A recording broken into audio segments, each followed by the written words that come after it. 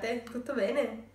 Oggi sono qua che vi faccio questo video sull'allattamento perché oggi non lavoro ed ho all'asilo quindi ho un po' più di tempo per, per, fare questo tipo di video.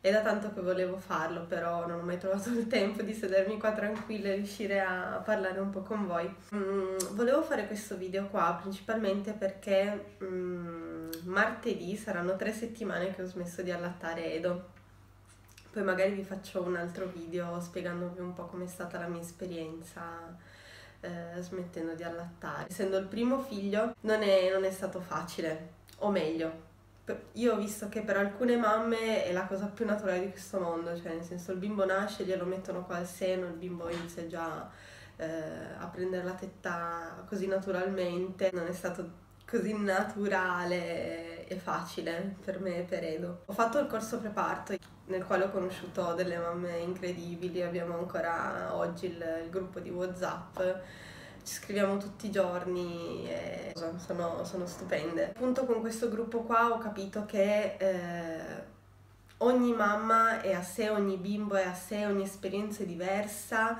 e, e l'approccio con l'allattamento per ogni persona può essere diverso. Come credevo fosse io l'allattamento, io credevo fosse così.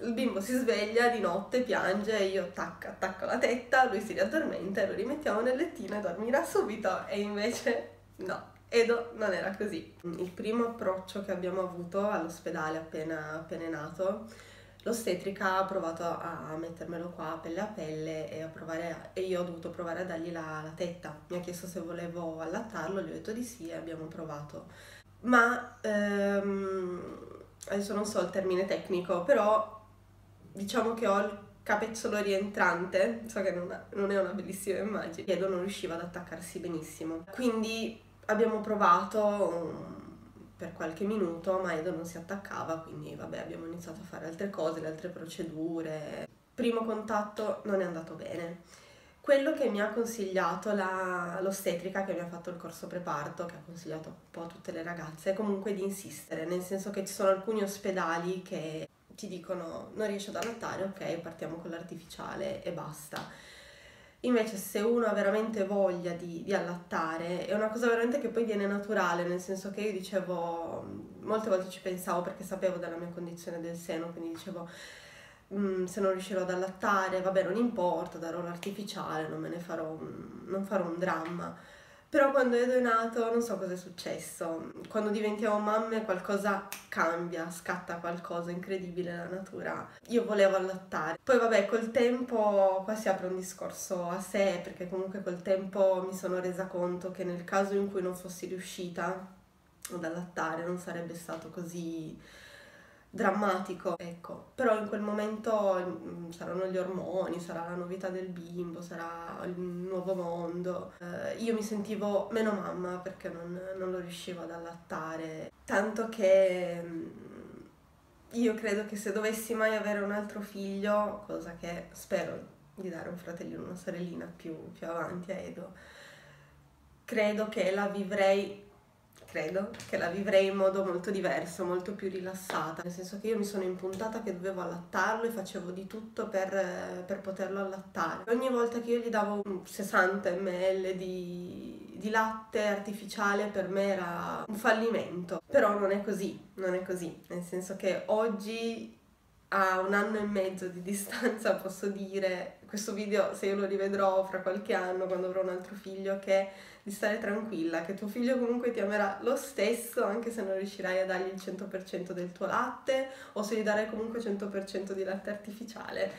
Quindi solo che in quel momento lì non, non lo capisci, vuoi solo vedi tutte le altre mamme che danno il, la- il loro latte e vuoi darglielo anche tu. E quindi questa è una cosa che probabilmente ho sbagliato però è andata, è andata così e, e, vabbè. Qual è il consiglio che ci ha dato l'ostetrica eh, al corso preparto? È stato quello di chiedere aiuto alle infermiere, alle ostetriche, ogni volta che il bimbo piangeva, che mh, mm, vedevo che voleva attaccarsi alla tetta, io schiacciavo il campanello e chiamavo qualcuno per venirmi ad aiutare eh, perché vabbè ero impacciata, non sapevo come si teneva il bimbo, non sapevo come si faceva. Io mi sono fatta aiutare tantissimo dal consultorio pediatrico che veramente c'è stata questa, questa, infermiera pediatrica che è stata il mio angelo. Poi ha perso un sacco di peso, eh, ci hanno fatto uscire dall'ospedale proprio per il rotto della cuffia perché ha avuto troppo calo fisiologico e mm, proprio perché non riusciva a prendere tanto il, il mio latte, e, però ci hanno fatto uscire però io tutti i giorni dovevo andarlo a pesare a vedere se stava prendendo peso e lui invece di prenderne lo perdeva tant'è che abbiamo dovuto attaccare appunto con, con un po' di artificiale. Io ho preso questo qua, che è il quaderno degli appunti di, del corso preparto, dove appunto mi ero scritta tutti, tutti i consigli che dava, dava l'ostetrica. Il primo consiglio appunto che lei dava, che più il bambino succhia, più stimola la produzione di latte. Quindi bisogna tenerlo attaccato il più possibile in modo da produrre più, più latte. Il secondo consiglio che lei ci dava era quello di usare quest'olio qua, che è l'olio Vea, vediamo se si vede, eh, ogni fine poppata. Eh, lei ci diceva di prendere un asciugamano, di bagnarlo con dell'acqua calda, fare degli impacchi nel seno in modo da, lavare, da lavarlo e poi passare appunto quest'olio, quest'olio qua, perché quest'olio qua eh, previene le ragadi, è, è miracoloso, mi ha aiutato un sacco. Il terzo consiglio che ci dava, che poi vabbè verrà naturale, nel senso che è una cosa assurda, di bere molta acqua. Io giravo col bottiglione d'acqua perché ti viene una sete incredibile. A parte la fame, che nessuno me l'aveva detto, che sarebbe, che sarebbe venuta una fame da lupi, e infatti ho preso un sacco di chili. Credo di aver preso più chili durante l'allattamento che durante la gravidanza. La quarta informazione, non bellissima, ma questo è, è che la notte stimola la prolattina, quindi il bimbo si soddisfa di più ed è per questo che si sveglia di più di notte e dormirà di più di giorno. Il quinto consiglio è quello di chiedere il tiralatte all'ospedale. Eh, io ho dovuto usare il tiralatte sempre, praticamente io finivo di allattare Edo, smettevo di allattare Edo, Edo si addormentava io prendevo il mio bellissimo tiralatte e mi dovevo tirare tutto il latte che era rimasto appunto per, per svuotare il seno e far sì che, che, si producesse, che producesse più latte. Un altro consiglio che ci ha dato, eh, che poi a me in realtà non hanno neanche proposto, è stato quello di eh, non dare eh, l'acqua con lo zucchero ai bimbi appena nati, a meno che non sia il pediatra dell'ospedale o comunque il pediatra del, del bimbo che, che dice di farlo. E, meglio non farlo, così mi aveva detto la, l'ostetrica. L'altro consiglio è questo qua, di prendere queste vitamine qua, che si chiamano Phytomam, e dicevano di prenderne, adesso io le ho prese ma non mi ricordavo più appunto, eh, due al mattino, due al pomeriggio, due la sera, la prima settimana, dopodiché due al mattino, due la sera per stabilizzare il latte. Tutto questo per due settimane. Io le ho prese e credo abbiano, abbiano comunque aiutato, abbiano fatto la loro, la loro parte. L'ultimo consiglio è quello di cercare di mangiare comunque tutto, in modo da far, da far abituare il bimbo a, a tutti i gusti. Ah, tornando al discorso del latte artificiale, io mi ricordo che in qualche modo è stata la mia salvezza, nel senso che in alcuni casi è stata la mia salvezza, nel senso che appunto io non avendo tantissimo latte tirato mio, nel senso che io me lo tiravo quel tiralatte ma ne uscivano tipo 30 grammi, mi ricordo di una volta che mi sono, appunto c'era Edo che dormiva, io ero lì che mi tiravo il latte, zzz, zzz, stavo tipo un'ora lì a tirarmi il latte per farne uscire veramente 50 ml. Non so che cosa ho combinato, io sono una pasticciona. Ho appoggiato il latte, il biberon col latte sul divano. Non so, ho fatto una mossa e è caduto tutto sul divano. Madonna, io ero stata tipo lì un'ora senza dormire per tirarmi il latte ed è caduto tutto per terra, tutto sprecato, 50 ml. I miei preziosi 50 ml di latte sono andati sprecati. Vabbè.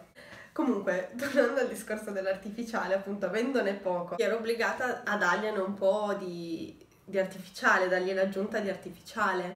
Anche se per me in, quella, in quel momento lì era veramente un, una tragedia, in qualche modo mi ha aiutato. Io mi ricordo che i primi giorni, anzi i primi mesi in realtà, mia mamma ogni tanto veniva a dormire qua da noi eh, dormiva nell'altra camera per aiutarmi. Io mi ricordo che prendevo Edo eh, e lo portavo in sala, lo allattavo in sala perché il papà si svegliava alle 6 del mattino, il papà di Edo, per andare a lavorare. E quindi per non disturbarlo io prendevo Edo, lo portavo in sala, mi mettevo sul sofà e lo allattavo. Edo ci metteva quei 30-40 minuti a fare la sua poppata e soddisfarsi. Poi dovevo fargli fare il routino io non riuscivo a fare fare il routino a Edo. Mia mamma lo metteva qua, due pacchette sulla spalla, Edo 5 minuti aveva fatto il suo routino, io lo tenevo lì.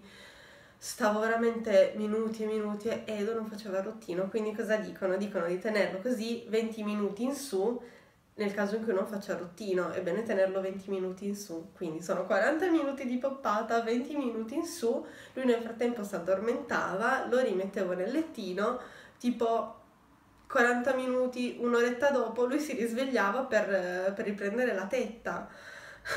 Erano dei momenti in cui ero veramente distrutta, non ce la facevo più. E c'erano delle notti in cui io mi dovevo fare almeno tre ore di, di sonno perché ero in after da, che ne so, due notti e avevo bisogno di dormire, proprio il mio fisico mi chiedeva di dormire anche perché il non dormire veramente mi, mi ha scombussolato un po' la vita. E io non sono mai stata una grande dormigliona, però non riuscire a dormire almeno due ore di, di seguito per, per due o tre giorni veramente ti, ti, fa uscire fuori.